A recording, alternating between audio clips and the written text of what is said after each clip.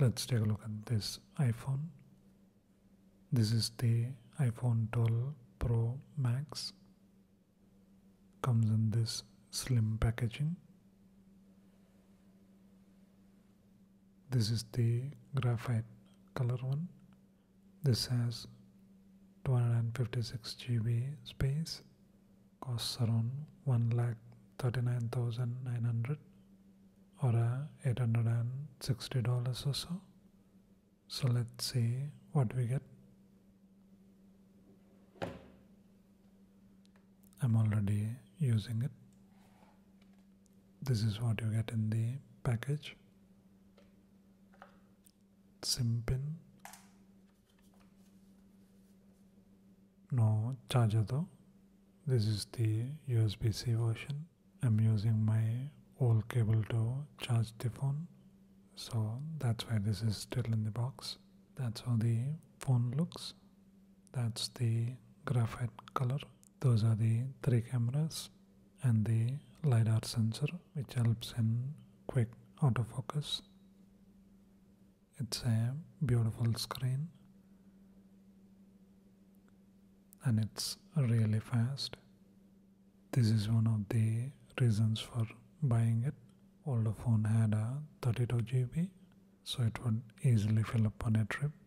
When I go traveling, I usually use up around 20 to 30 GB. With this, I don't have to worry about space. And the second reason for upgrading is the camera. This is the zoomed in, it's the wide angle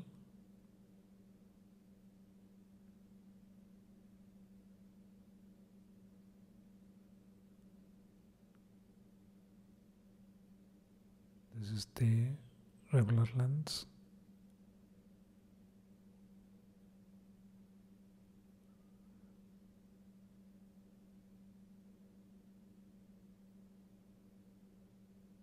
It's pretty hard to beat the iPhone in video quality.